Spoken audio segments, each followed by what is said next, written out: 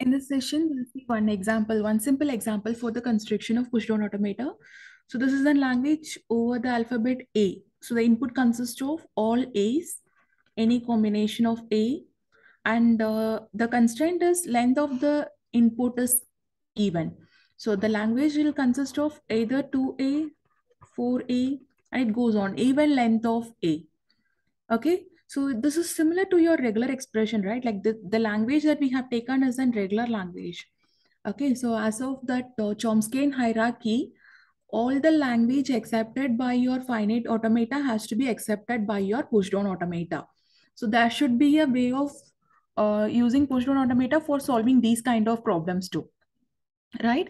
So one thing that can be done is like here, even without using the memory unit, we can have two state transitions. So one is for accepting scanning the odd number, another is for scanning the even number. We can repeat the same procedure here. So the idea is first to push the Z naught into stack. And when you're scanning the first A, put it into stack. stack. When you're scanning the second A, for this, uh, uh, the next, uh, the topmost element of stack will be popped out. Okay, so when I have four A's, first A will be pushed into stack and for the next A, this A will be popped out. And when you're scanning the next A, put it into stack. For odd number of A's, I'm going to put it in stack. And when even number, when a pair occurs for it, we are going to cancel it. So I can have two state transition here. One state Q naught. First step, push Z naught into stack. So epsilon without processing any of the input symbol, push this Z naught into stack. Now, either you can have the transition here itself, or if needed, I can have a separate state in order to overcome the confusion. So for the first A, I'm going to have the transition in Q, Q naught, sorry, Q1. Okay, so here the transition is first I'm going to push Z naught into stack and I'm make it, making a transition to Q1 state. In Q1, when the first input A occurs. Okay, so I'll have two states here. Listen carefully. So in this place,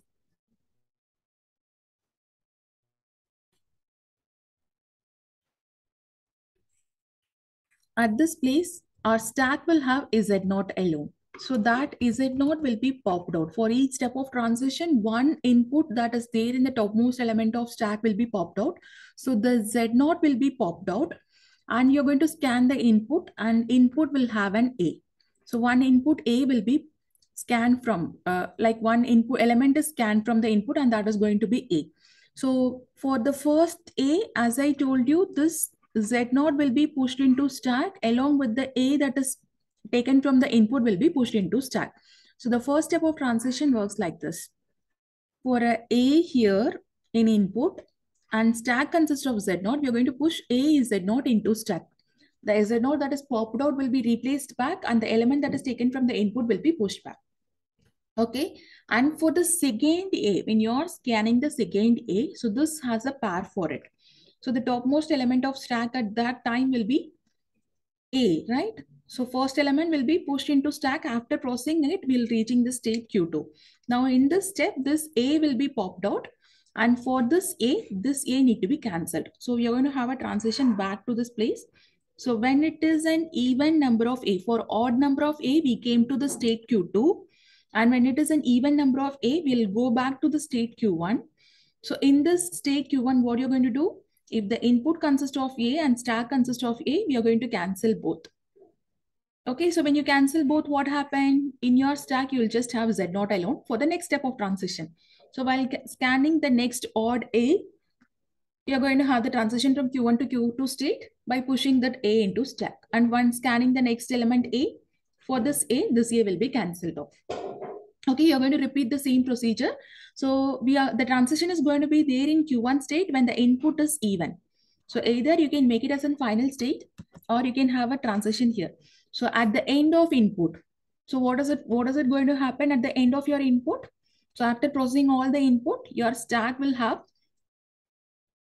at the end of your input, your stack will have Z naught alone. In that state, you can pop out and we can make a transition to Q3 a new final state. This is acceptance by moving to final state.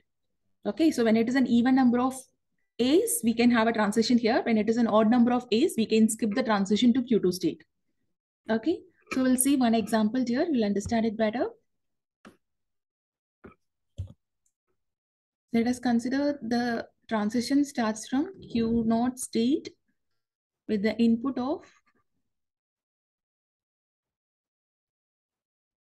4A of 6A with epsilon in the starting.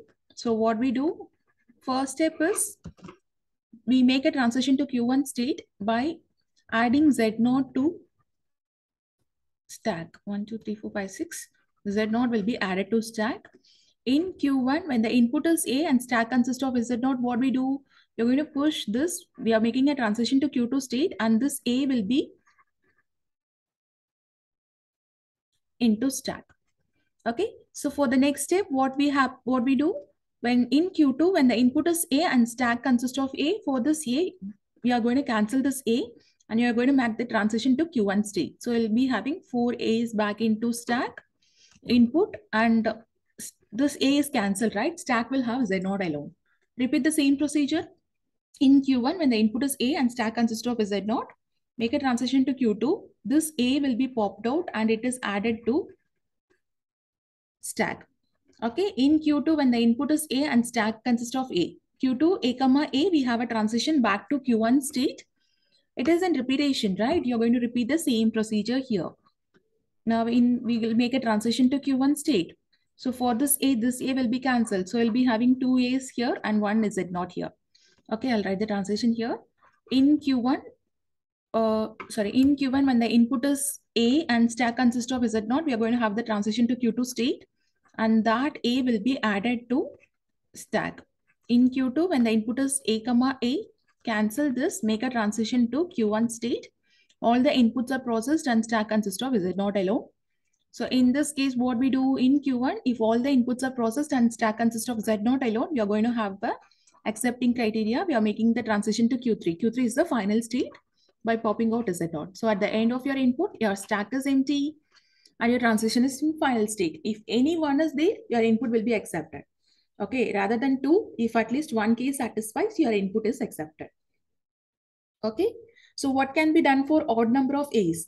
So Q1 is a place where it is going to have trace all even number of A's. When you want to accept it by uh, odd number of A's, you can have a transition here for final state like this.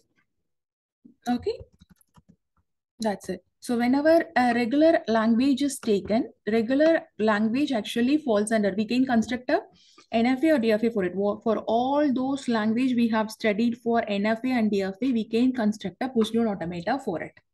Okay, so that is your Chomsky hierarchy. Regular language, only few problems can be solved.